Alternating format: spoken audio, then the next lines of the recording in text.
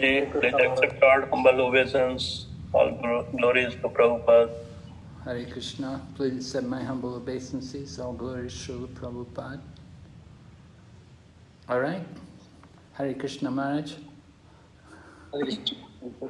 Hare Hare Krishna Maharaj. Hare Krishna. Nice to have your association in this class. Hare Krishna and Pranam Maharaj. Thank you, Bhakti Maharaj. To be here.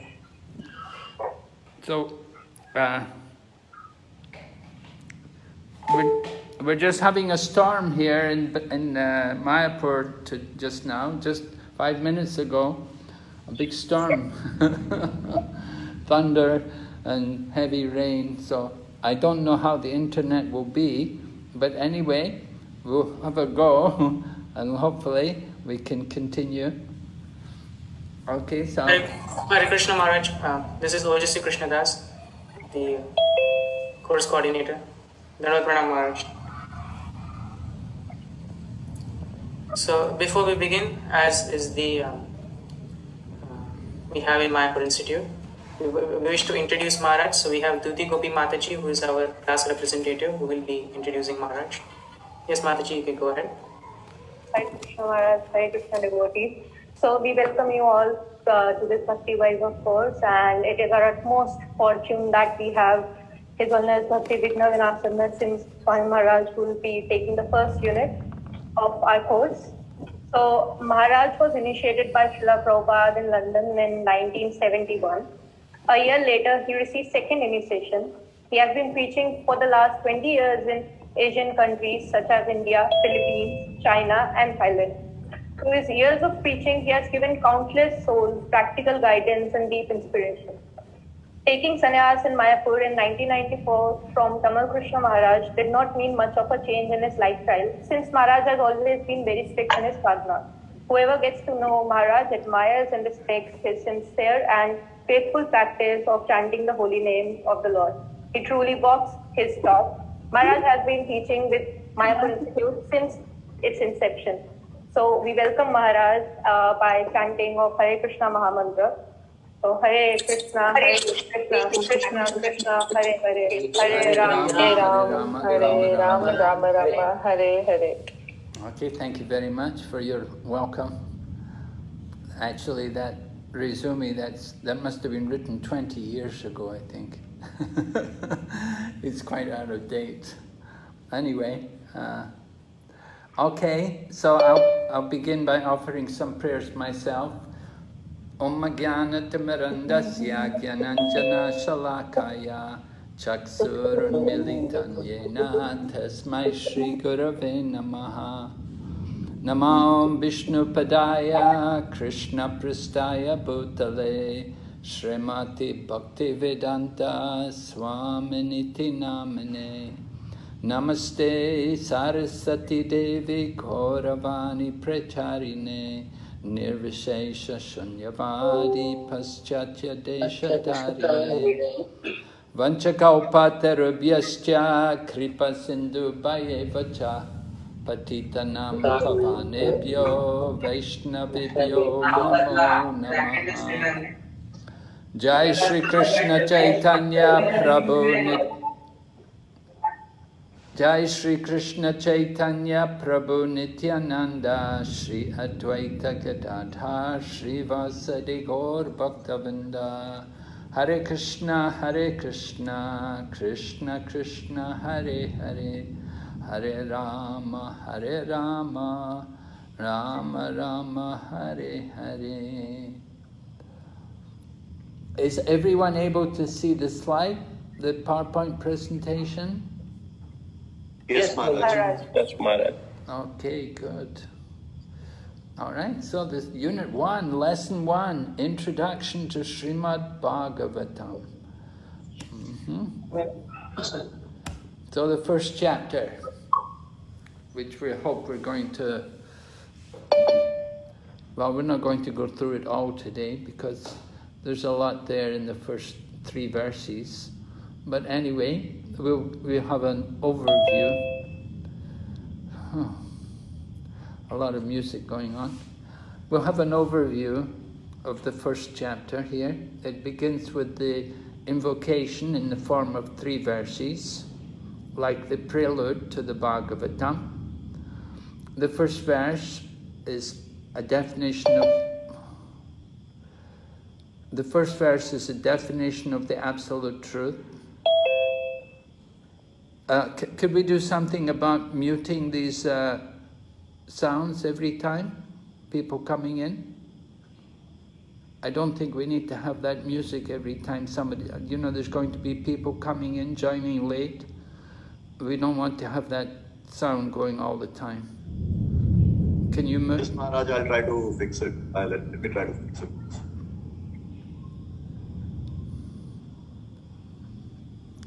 All right, so the first verse, the subject of the Srimad Bhagavatam actually is a definition of the absolute truth. And we should point out that Srila Prabhupada's preface to the Srimad Bhagavatam is also very interesting. I hope you've all had a look at the preface of the, Bhagavat, of the Bhagavatam, because in the preface, Prabhupada brings out an important point.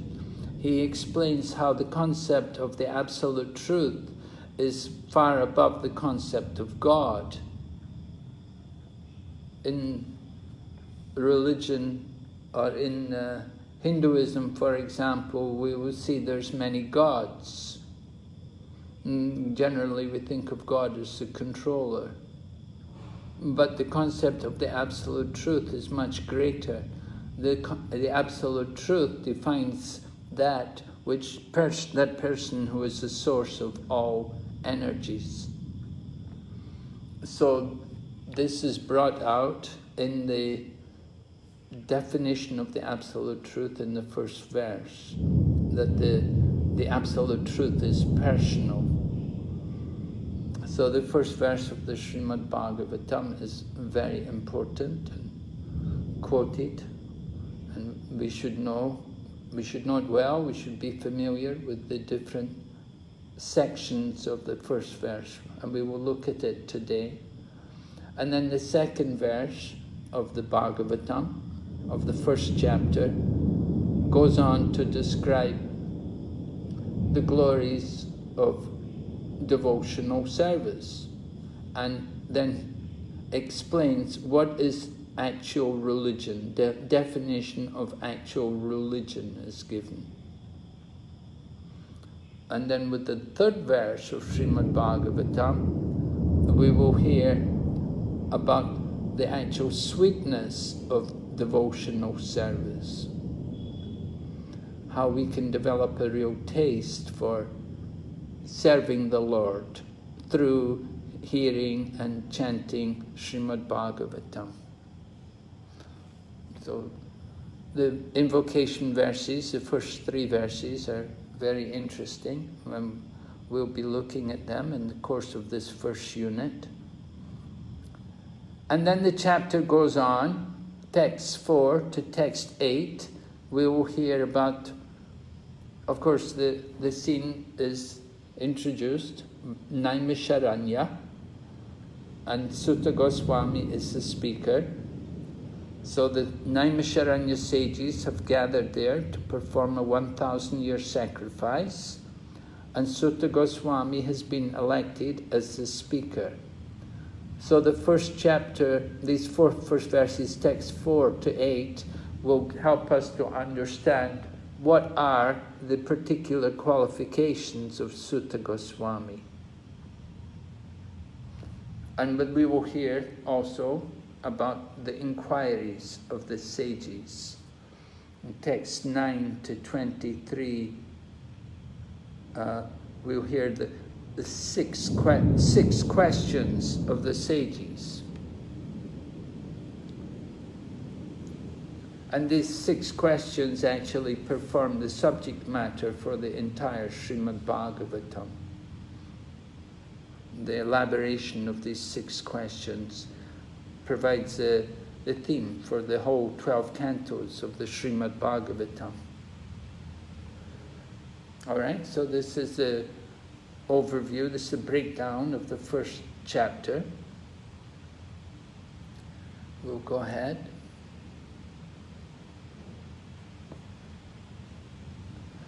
Okay, so here you can see Suta Goswami and Shonaka, Shonaka Rishi, the great sage who's the head of the, the sages and who's been nominated to put the questions to Suta Goswami. And he does a very good job. He's a very powerful speaker himself, and he's a very enlightened personality. So, where you have such a nice audience headed by Shonaka and such a wonderful speaker as Suta Goswami, then we can be sure there will be a very wonderful atmosphere generated and the subjects which they talk, their discussions will be very enlightening for everyone. All right, so the, I'll just read here the, this fifth verse.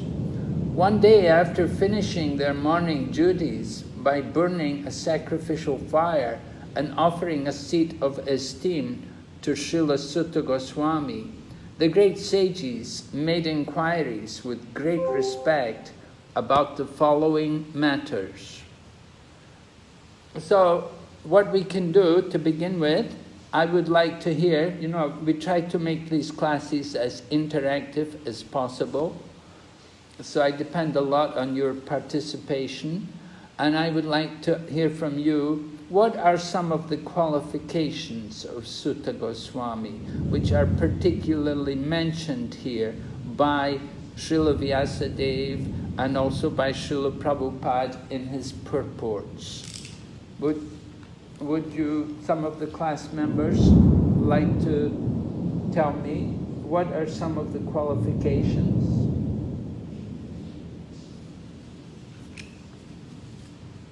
Yes? Yeah, uh, Srila Suta Goswami uh, is a free form of voice. Another.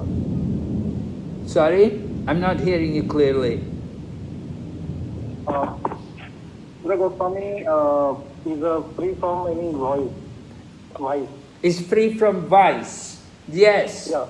That's a Another. very, very important point, right? He's, he's, he has, in other words, he, he does not have any bad habits. He's completely free of all vices. Right? What, what do we mean when we speak about vices? Could you tell us? Yeah, the, the four regulative principles that, that are mandated. So if we don't follow, uh, then we have those four vices. Right, yes. So Srila Prabhupada was very particular about this. He said anybody who is the representative of Vyasadeva, who's going to sit on the Vyasasana, they must be free from vice. They cannot have, they should not have any sinful habits. They should not be indulging in any kinds of illicit activities. That's very essential in selecting a person to speak on Srimad Bhagavatam and to take a seat of honor like that is very important. And of course, we can think, we're reminded of the example how Romaharshan was sitting on the, on the Romaharshan was seated on the Vyasasana, but he did not offer respects to Lord Balaram. And Lord Balaram took that as an offense. He saw the pride that Romaharshan was guilty of pride. And a person who has pride, who's, who's proud, he should not be sitting on the Vyasasana as a representative of Srila Vyasadeva.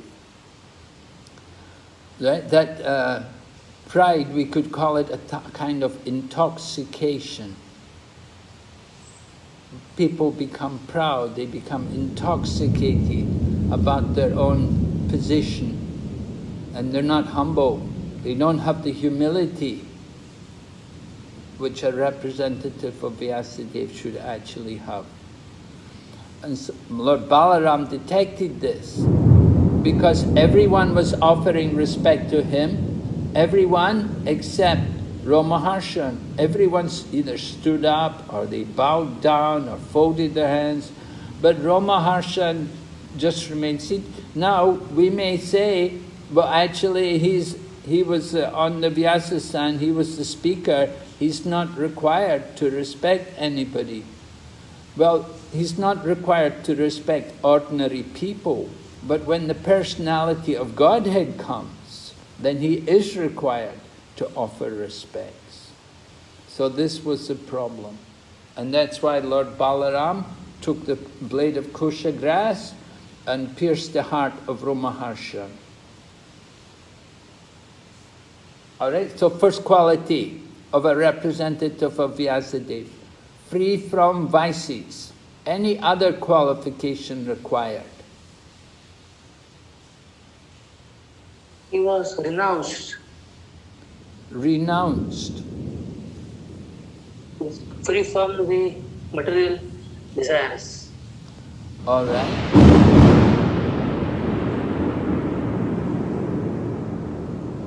Free from material desires. In other words, you could say he has to be a controller of his senses. He cannot just simply be a sense gratifier. He must be in control of his mind and senses. He should actually be a, gos- a swami. He should be a swami or a goswami. He should be properly situated on the transcendental platform. And he should not be the servant of his mind and senses. All right? Yes? Hare Krishna Maharaji. So he, he was very, very well versed in the scriptures like Puranas and history, and he understood the conclusion of it, and which he was totally qualified to explain about it. So probably this was another of his qualities. Yes, he was well read in the scriptures. He studied from qualified people. Of, in those days, of course, this is before, before the beginning of Kali Yuga, so there were no there were no books. Everything was heard. People would hear and they would remember. So Suta Goswami, he had heard, as you said, he had heard the scriptures, the Puranas, and the, the, the Vedas, the Itihasas, like that. And Srila Prabhupada also talks that actually the representative of Srila Vyasadeva, he should be learned in all the six different philosophies. There are the Sat Darshans, the six philosophy, six philosophical systems which reveal the absolute truth, right? Do you know the do you know who are the propounders of these different philosophical systems and what, what philosophy did they produce? No, Maharaj. You don't know?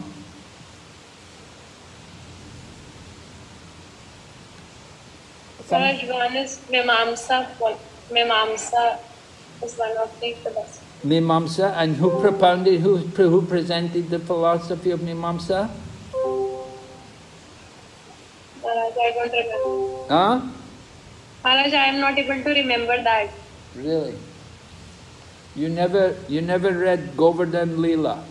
It was Jaimini Rishi Yes, thank you. Right. Jaimini. Jaimini presented the Karma Mimamsa, the kar- philosophy of Karma Mimamsa. Right? Any other philosophical systems? You know, yes? Uh, Sankhya, philo- Sankhya philosophy, Maharaj. Yes, Sankhya, and who presented that? Uh, Kanva, Rishi, or, Sankhya came from? or uh, Kapila, Kapila Rishi. Yes, Kapila Muni, Kapila Muni presented the Sankhya philosophy. Right. And then There was Nyaya presented by Gautam. Nya, And- Nyaya or logic. Right? Who presented that? Gautam. Gautam. Yes, right. And then? Um, there was also Yoga by Patanjali. Yes. Patanjali Yoga, the Yoga Sutras from Patanjali. Yes? Any more? Vedanta, but I don't remember the pro- who like with Vedanta. Well, what's our philosophical, what's our philosophical system? Vyasati. Huh? Yes? What system are we following? Vedanta. Yes, Vedanta. And who, prese- who, pre- who presented Vedanta? Vyasadeva. Yes, Srila Vyasadeva, right. Uh-huh, good. Okay, so we've got that. Then there's also, there's one also by Astavakra. Astavakra, he also presented a philosophical system of impersonalism. Like that, these are the, what's called Sat, Sat Darshans, or the six ways to view the absolute truth. And the most powerful, the most superior of the six philosophies is the Vedanta, teachings of Vedanta from Srila Vyasadeva. All right? So the speaker who is going to sit on the Vyasasana, he should be familiar with these different philosophical systems.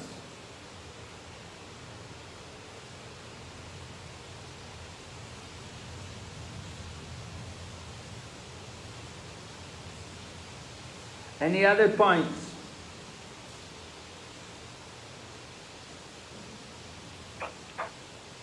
He should be coming in the disciplic succession.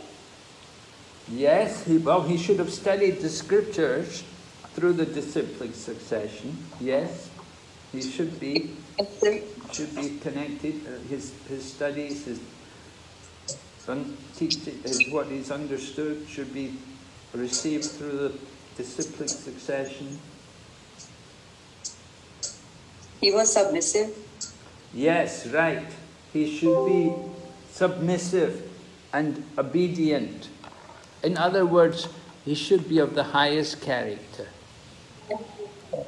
Maharaji, he was the senior most uh, Veda- Vedantist among all the sages. Suta Goswami? Yes, Maharaji. Yes, of course, that's why he's on the seat. That's why he's been elected to speak, because he's the most senior. What was his qualification? What we're saying the different qualifications of a representative of Vyasadeva. And what about the Suta Goswami? What was his particular qualification? What did he actually hear? He heard in disciplic succession Bhagavatam from uh, Shukadev Goswami and then he was giving to sages of Naimisharanya. Right, yes. He was there when Maharaj Parikshit was hearing Srimad Bhagavatam from Sukadeva Goswami. At that time, Suta Goswami was present. He was there among the assembly of sages who had all gathered to hear Sukadeva Goswami speak Srimad Bhagavatam. So he's heard the Srimad Bhagavatam and he's going to repeat what he had heard, what he had understood from these, from the talks of Sukadeva Goswami. All right, and then Prabhupada also makes a point about uh, uh, in presenting questions that he should not that he should not put challenging questions. But the questions should have a philosophical basis. They should be reasonable and intelligent questions. They should not be challenging. That's an important point.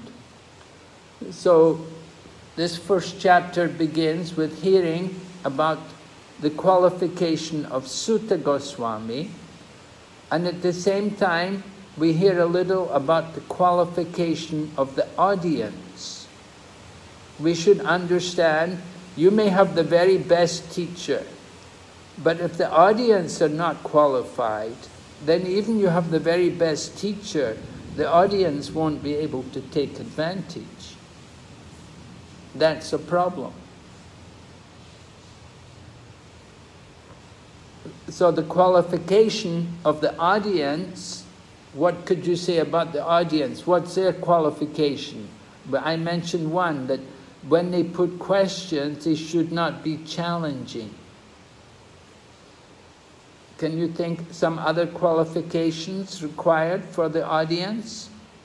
Um, they must be uh, pre- uh, presenting questions that are of well-being of the entire world or human humanity. Yes, okay, the questions should be of value to the world, to, other, to the whole human society. Yes, And should be related to Krishna. should be relate, in relationship to Krishna. Yes, They should have faith in the speaker. yes, they should have some faith in the speaker. He should serve. He should serve the speaker. They should give service to the speaker. Well, their service, what is their service? They should submissively hear from Submissively hear. Yes, right. That's their service. To submissively hear. They must hear with full care and attention. They, mu- they should be eager to hear. You know, sometimes you go to school, you know, you're not very eager to hear. Difficult job for school teachers when they have to teach children who, who don't want to hear. uh, one of my, the wife of one of my friends was told by her headmistress, she's, the headmistress told her, don't even try to teach them. Don't even try to teach them. They don't want to learn anything. so this, the, the school, modern school education is in that kind of condition. So hearing Srimad Bhagavatam, it's a different affair. This is a transcendental affair. And the people who've come to hear Srimad Bhagavatam, they should be eager to hear, and they're hearing with rapt attention. They're hearing submissively. And that makes a very nice atmosphere. Okay? So we're going to go ahead to the next, what, well, here, the next slide from, from text number six. The sages said, Respected Suta Goswami, you are completely free from all vice. You are well versed in all the scriptures, famous for religious life, and in the Puranas and the histories as well, for you have got you've gone through them under proper guidance and have also explained them. All right, so many of these points we brought up. His Suta Goswami's qualifications are being mentioned. Mhm. Then, being the eldest learned Vedantist, O Suta Goswami, you are acquainted with the knowledge of Vyasadeva, who is the incarnation of Godhead, and you also know other sages who are fully versed in all kinds of physical and metaphysical knowledge. All right, so we're hearing more about the qualifications of Suta Goswami. He, he was acquainted with the knowledge of Vyasadeva, as we just heard. He heard the Srimad Bhagavatam from Shukadev. And you also know other sages, other sages who are fully, oh, Krishna, oh, Hare Krishna. Other sages who are fully versed in all kinds of physical and metaphysical knowledge. So he had good association, philosophical association. Text number eight. And because you are submissive, your spiritual masters have endowed you with all the favors bestowed upon a gentle disciple. Therefore, you can tell us all that which you have scientifically learned from them.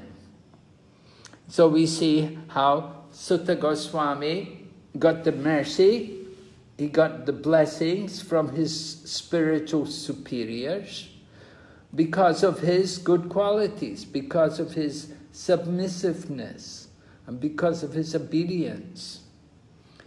We see similar situations in Shastra. Can you think of other people who were also blessed in a similar manner?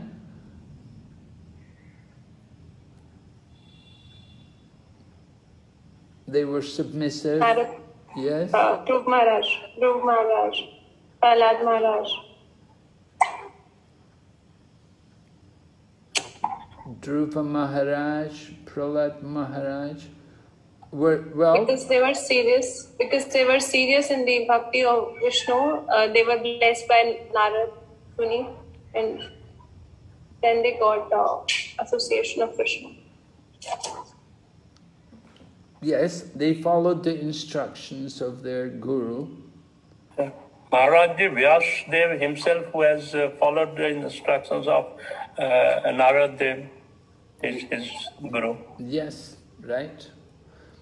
I was thinking of the- Maharaj Narad, Narad, Narad Muni in his previous life when he was Yes, child. right. That, that's the example which comes in my mind. That's the example which came to me. The Narada Muni in his previous life, how the, the Bhakti Vedantas had come to his home and he was a young boy and he was helping his mother and he took advantage to serve him, to serve the Bhakti Vedantas.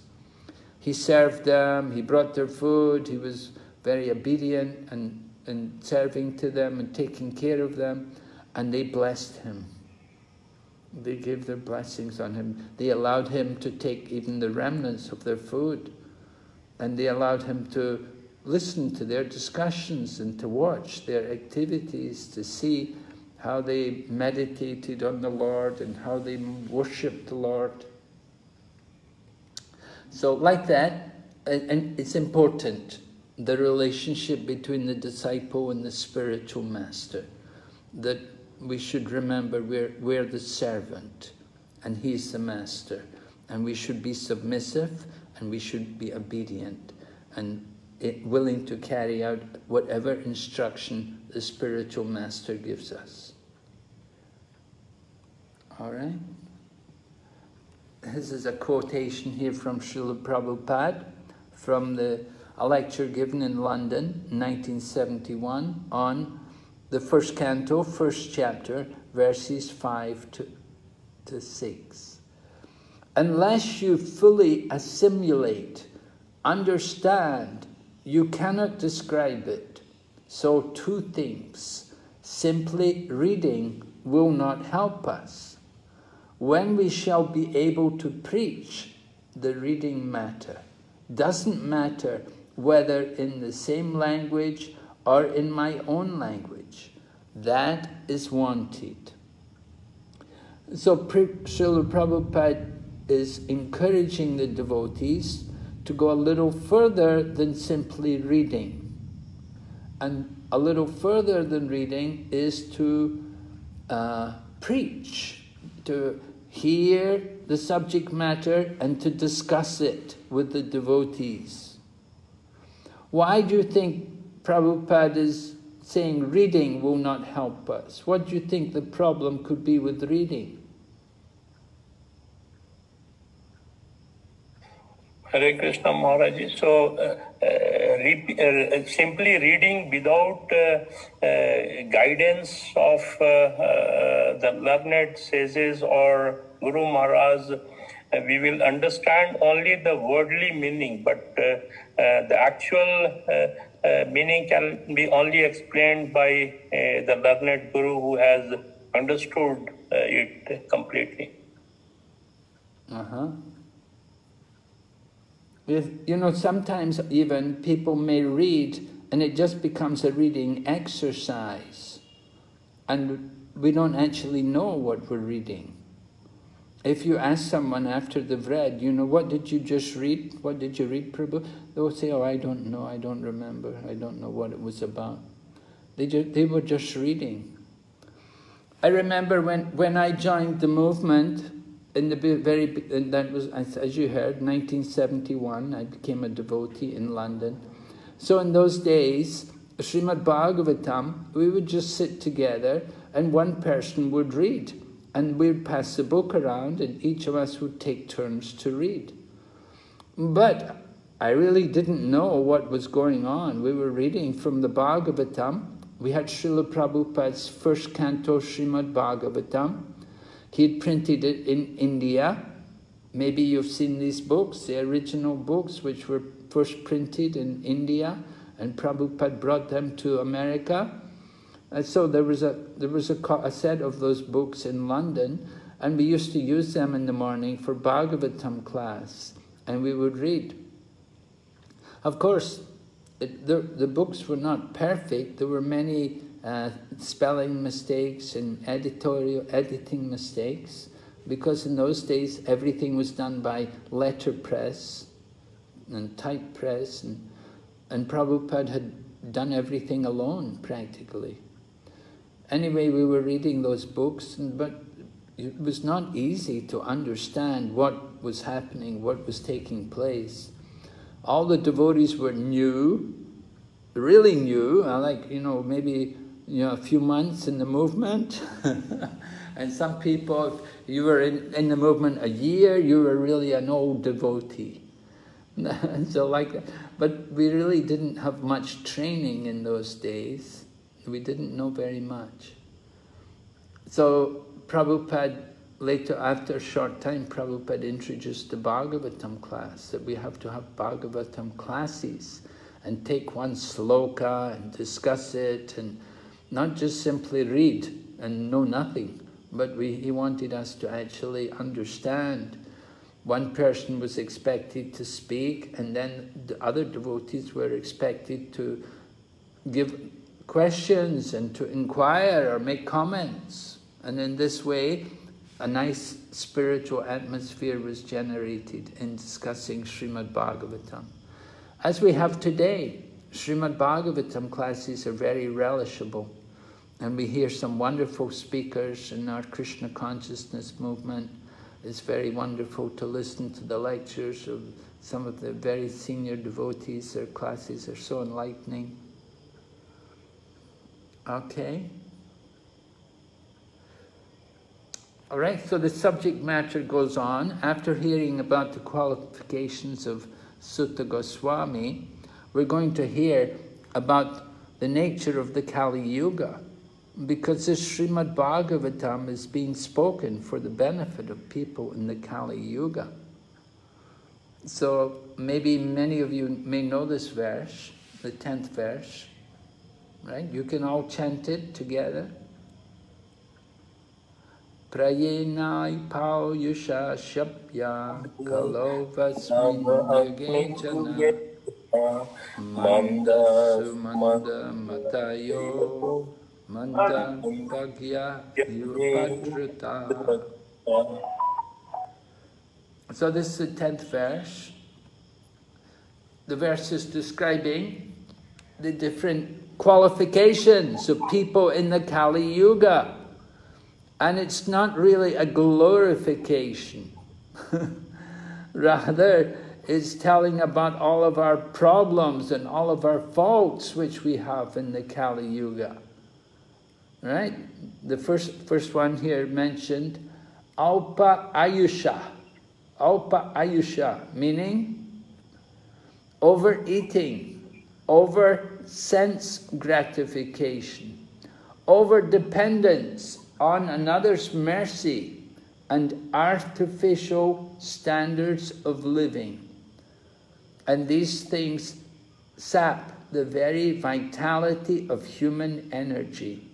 Therefore, the duration of life is shortened. Alpa Ayusha, short life. People, of course, want to have a long life. We don't like a short life. We, we many people, they, they like to have a long life. Nobody wants to die even. And so, Srimad Bhagavatam directs us to see the faults in the modern way of life. Overeating, very uh, uh, problem. People eat especially at the wrong times. They eat in the night when they shouldn't be eating. In the morning when they should be eating, they don't eat. And they, they, and, but they overeat at night. and then over sense gratification. Sense gratification in the sense that they, they, they will spend their time sleeping or uh, when they overeat, then they'll sleep more than they need to. And they may also uh, may become more passionate than they actually should be. And they can't control their passion, and this way they become a, a victim to illicit sexual relationships. An over dependence on another's mercy depending on others. Many people depend on the government. There are countries, social welfare systems in countries like, well, in, in, in America, in Canada, in the U UK, in, in Australia, many parts of the world, they have a, a welfare society and, and people can just depend on the government. The government will provide for them. And then also artificial standards of living. Could someone describe what would be a, what, some artificial standard of living? Can you think of some examples? Maharaj, having a luxurious car because that is not needed. One can have a simple car, so that is only required for transportation. So people bought so many costly cars, costly clothes, which are not uh, as part of their necessity. Yes, people, they, they, they, have, they cannot walk anywhere. They have to go by car. Huh? so we, we, we become servant, we become dependent on our vehicle to go anywhere. So it's an artificial standard. Any other examples? Artificial standards of living? As people are dependent on air conditioning and you know heat central heat system and all other such luxuries. Yes, that, right. Air conditioning and central heating. Over endeavoring for more money and spending all the time just for earning more money. Oh yes, yes, very good. Yes. Sometimes people have, you know, one job in the daytime and one job in the night also. And then they have another job on the weekend. So like three jobs, you know. this, this is something which happens, uh, you know, it, it goes on quite a lot in many parts of the world. People think... Maharaj also, yeah, sorry. Maharaj, also about the you know people living on pills instead of uh, you know organic food. You know they take a lot of medicines uh, instead of uh, you know proper depurated food that is good for their health. Oh, also, yes, right, yes. They have somebody. There was one person. They said, "This pill, this is to stop my hair going grey." Didn't want their hair to go grey, so they were taking a pill to stop the hair greying. And then another pill has to be taken for, for eating to help to digest. Another pill has to be taken to help sleep at night. like this whole array of different uh, drugs which are used to maintain the body, to keep the body running. So artificial lifestyle, right? So that's all in the category of Alpa Ayusha. That means short life. And then Manda. Manda meaning slow, faulty, lazy. Manda, lazy. We were talking about lazy, you know, lazy habits. We have cars and everything. Uh, we, we uh, we don't like to walk up the stairs. We'll have an elevator to take us up one floor. Even you're just walking up one floor, you have to have a lift to take us up. And then for cooking, people don't like to cook. They will just go and purchase ready-made food. Uh, In Japan, I've heard that in Japan, I don't visit Japan, but one devotee told me that in Japan, many people will take three meals a day in the 7-Eleven. They go to the 7-Eleven and the 7-Eleven will heat something up for them and some, uh, you know, in some kind of uh, ultraviolet uh, cooker or something. And this way they have their meals. And so it's, it's so artificial, it's so lazy. People don't want to cook, they don't want to go shopping and cut vegetables and cook for themselves. Everything has to be just done for them. And fast food as well, sometimes fast food. Although here it says slow, slow, we're slow, slow in the sense we're slow to realize the problems of life. We're slow in seeing how conditioned we are. We're so conditioned and we're so victims of the Kali Yuga. And then Sumanda Matayo. Due to a bad system of education, men have no desire for self-realization. A bad system of education. The teachers, you could say, are actually at fault. It's not really the fault of the teacher, but it's the fault of the education system. The whole system of education is bad. And people are misguided. They think the goal of life is sense gratification. So as mentioned here, people have no desire for self-realization. They don't want to hear about controlling the senses, they don't, want to hear about a little tapasya, they just want to hear about economic development and sense gratification. So this is the miseducation of the Kali Yuga. So Sumanda Matayo. Even if they come to know about it, they unfortunately become victims of misguided teachers.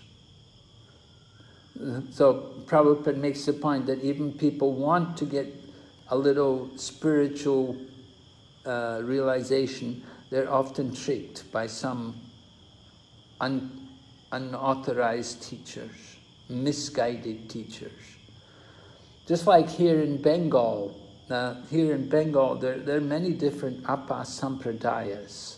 There are many different bogus philosophies being propagated. And they have huge numbers of followers. They've, they've, somehow they've established themselves, although it's so bogus and so misguided. But the people are victims. So this is Kali Yuga. What is religion is known as irreligion. And what is irreligion? People think that is religion. Some more points. Mandabhagya. In this age, there are victims not only of different political creeds and parties, but also of many different types of sense gratificatory divisions, such as oneness, oh, such as cinemas, sports, gambling, clubs, mundane libraries, bad associations, smoking, drinking, cheating, pilfering, bickerings, and so on. So this is all mandabhagya. Mm.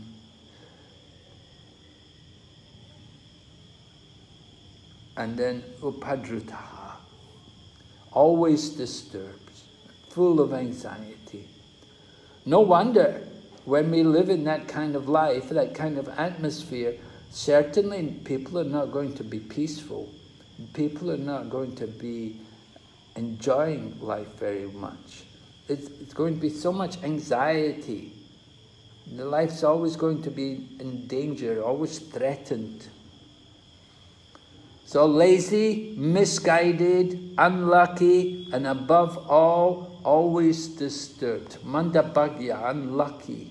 You could, so people have a short life, they're lazy, they're misguided, they're unlucky, and above all, everyone is disturbed. So this is the state of affairs in the Kali Yuga. And thinking about, knowing about the nature of Kali Yuga, that's why the sages had all come to Naimisharanya to perform sacrifice for a thousand years. Because they knew they have to do something for the benefit of people. So then text number 11. Many varieties of scriptures, and in all of them there are many prescribed duties which can be learned only after many years of study in their various divisions. Many varieties of scriptures. There are, just like Puranas, there are 18 Puranas. Six Puranas for the mode of goodness, six for passion, six for mode of ignorance. All of them, there are prescribed duties, different duties, people in different varnas, ashrams, they have their different duties and they can only be understood after many years of study. People need to study, they need to learn these things.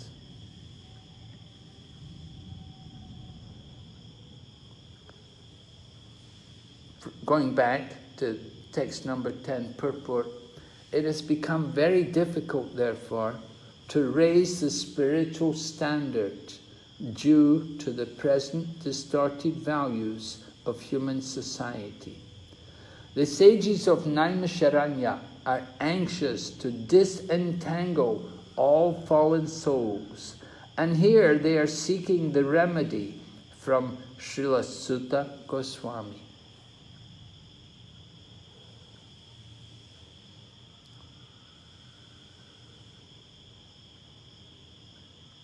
All right? So, going back now to the first verse, which is the uh, opening verse of Srimad Bhagavatam. And it's one of your memorization verses. I should think most of you have already memorized it. It's a very famous verse. Prabhupada liked us to know these different verses. They're very important in our preaching. So this first verse describes, this is actually the definition of the absolute truth. And uh, Srila Vyasadeva composed it for the benefit of all the devotees. So what we're going to do, how many people are in the class today? How many do we have? 28. 28 Maharaj. 28. All right. So we have. Uh, Including you, Maharaj. 20, 27. okay. One, two, three, four. We have four. We're going to divide the first verse into four quotes. And we'd like each group to explain how Krishna is the absolute truth with reference to your quote, right? And you have to give references to give reference to the Sanskrit and the analogies and examples from the purport and even you can give verses from Bhagavad Gita to support also. All right? Uh, is it clear? Yeah? So we're going to give we're going to divide the first verse into uh, four quote, four groups. Let's see, go back to the verse. All right. So the first group, group one, your verse will be very simple. Om Namo Bhagavate Vasudevaya. Right? So that's not very difficult for you. That's the first group. And then, group two, you will have the next line. Janmadhyasya yato navayad itaratas chatishu abhigyanaswarat. Right? So that's the, the line there after Om Namo Bhagavate Vasudevaya. And then group three, we will continue. Your line will be Tene Brahma Ridayadi Kavaye muyanti yat suraya. And group four, tejo varimridam yata vinimayo yatra trisagomrisha. Actually, we can have group five also. We can have five groups, not four groups. Right? We want five groups, so that will be five groups with at least five people, and some groups will have six people in.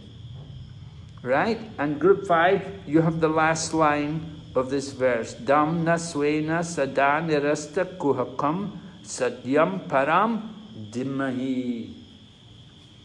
So we want each group to analyze their particular uh, their particular quote and then explain how Krishna is the absolute truth from that quote.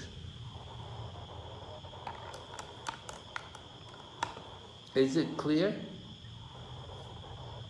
And we'll give you uh, 10 minutes to work on this. Maharaj, this is the first exercise, so we'll try our best to get it done. All right, thank you. See how, see how it goes. If you can finish in 10 minutes, very good. If you need more time, we can allow a few more minutes. Uh, should we div- uh, divide the participants in breakout room or what would you prefer? Yes, you should divide in breakout room. Yeah, that's the custom. That's the system.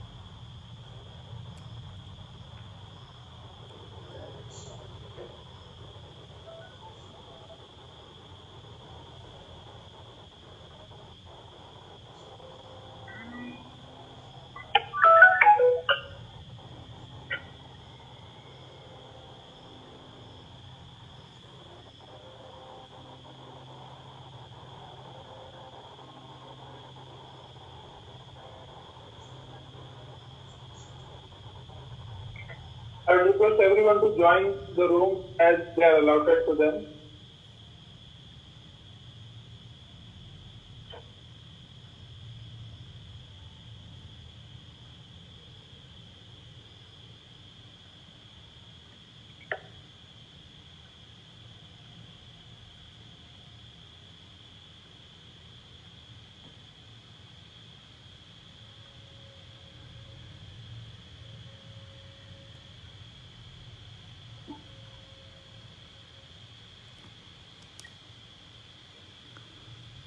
Hare Krishna Prabhus. Yes, Maharaj. So, which what is our particular phrase here? What what part of the sloka we got to analyze?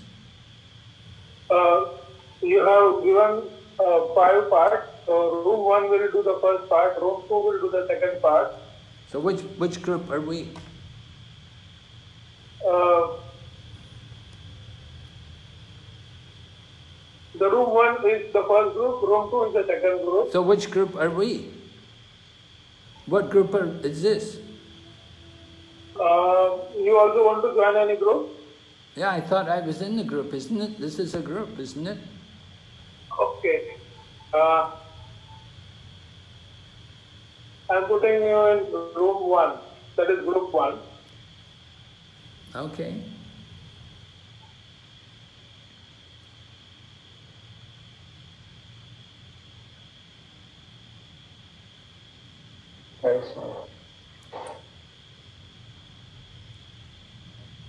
Hare Krishna.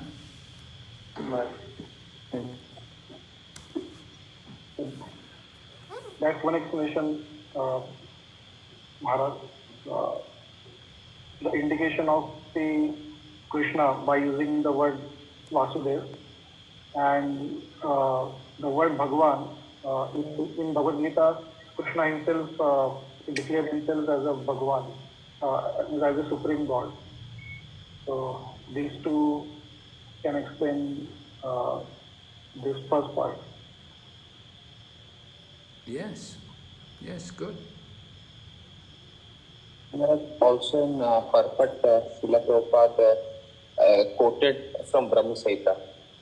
So, Ishvara Parama Krishna Sachidananda Vigraha Anagarade Govinda Sarvakaran Karana. So, Srila Prabhupada ji in, uh, in Parpat is quoting in the uh, Brahma Saita. So, this is all. as the first uh, of Om Namo Bhagavate Vasudevaya, that means in Bhagavatam is pointing out the Supreme Personal Godhead, and that Supreme Personal Godhead is Krishna, the son of Vasudeva. Yes.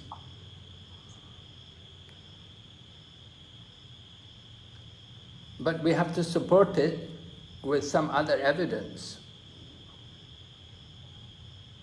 Yeah, Bhagavad Gita, Brahma Samhita, Krishna, to Bhagavan Shem Bhagavatam, other place, Ishvara Parama Krishna, Satchidananda Vigraha. Um,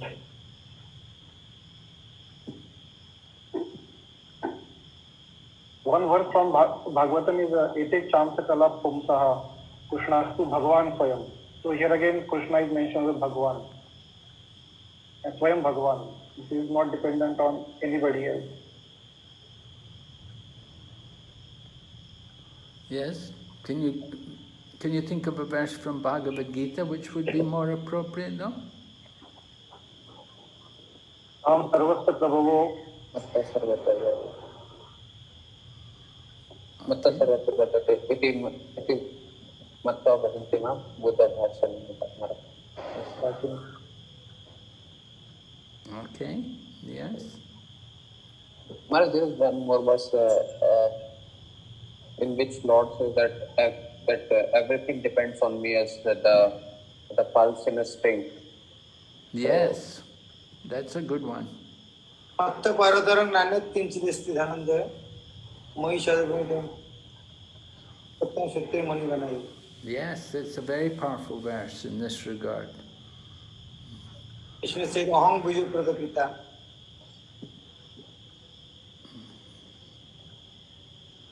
Hmm. The father of everyone. Hmm. Om Namo Bhagavate Vasudevaya. Also, he said,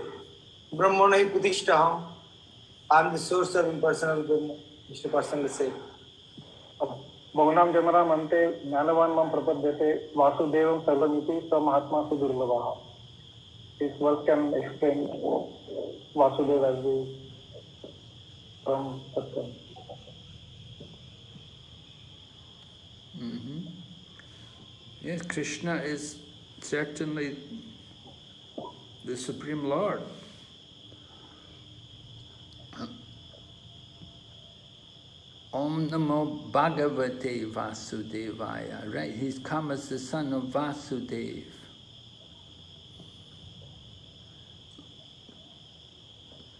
Devaki and Vasudev. So the Lord is coming as Vasudev, the son of Vasudev.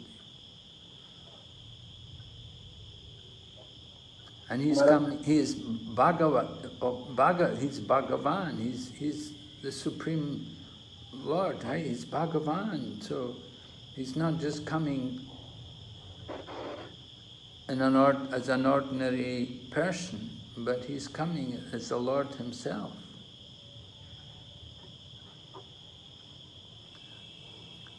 And he's a person, that's, it's very personal as well. That he, he has a name it's indicating a personality. It's not just simply some energy or some impersonal feature, but it's very personal that we are offering obeisances to this person who's come as the son of Vasudeva.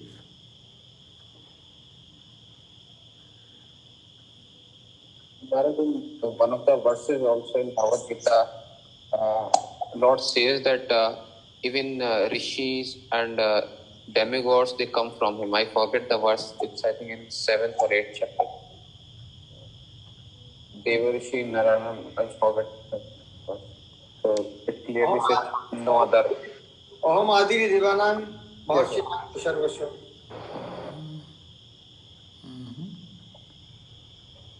Yes? न में विदु सुरागना इसमें से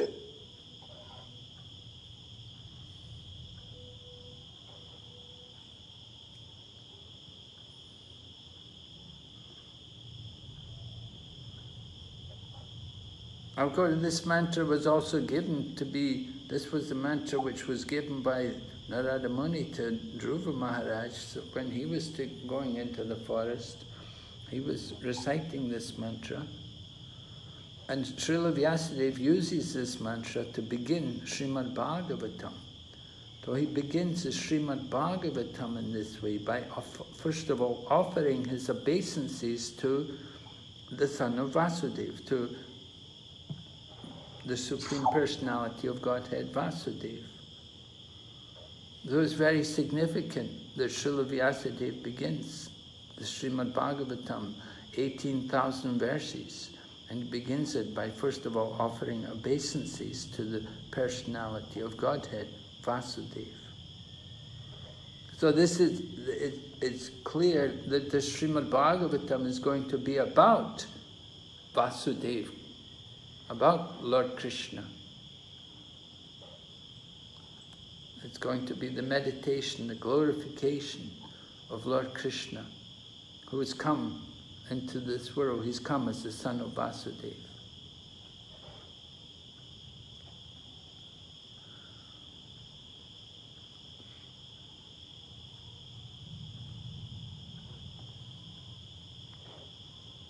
Hmm.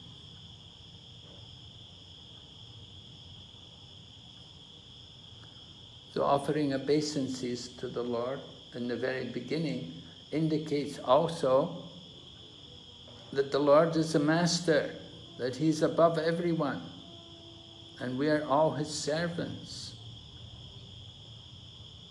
It indicates that the mood of devotional service, offering obeisances to the Lord. In Bhagavad Gita, Krishna says, uh, it talks about what is it? Madbhakto madhyajimam namaskuru. Right? Engage your mind in thinking of me, become my devotee, worship me and offer obeisances unto me. Then this way you will come to me without, I promise you this because you're my de- very dear devotee. So offering obeisances is mentioned there in Bhagavad Gita. And here we see Srimad Bhagavatam also beginning offering obeisances to the Supreme Personality of Godhead.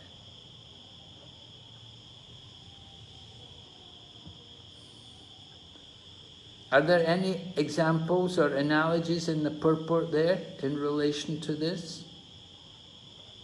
It's a long purport, but can, can you pick out anything of relevance to this statement in, the, in Prabhupada's purport?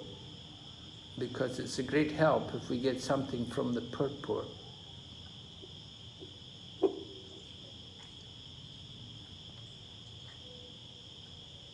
Uh, Maharaj in purport, uh, Prabhupada writes that uh, Krishna is always meditated upon by Paramahansa. So Vyasa is such exalted uh, personality. He's starting by meditating and offering obeisances. So this is indicate that Krishna is actually so not only Shastra but also the hints and the great personality also accept him as a supreme lord. Mm-hmm. Is there, is there any statements there where Prabhupada addresses this particular statement? In the purport, you know, where Prabhupada particularly addresses the, the offering obeisances to the personality of Godhead Vasudeva. Does Prabhupada speak about this in the purport? Uh, Prabhupada says uh, Vasudeva indicates the portions and plenary portions of the personality of Godhead. And, uh, and the Vasudeva also means the son of Devaki and Vasudeva. So, so if we tie these two aspects together, it, it, it, it becomes clear that uh, means Sri Krishna is the Supreme Personality of Godhead. Yes, right. I think this, uh, this is an important point. This is directly from Prabhupada's purport, right? Yes, yes, yes. Yes, I think this is a, a good point. I think you have to present this. When, when we open, you should present this point. Yes.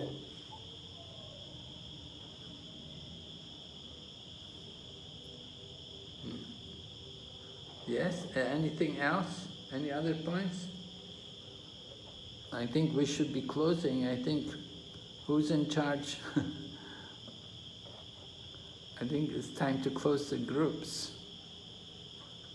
I'll just find out what's going on.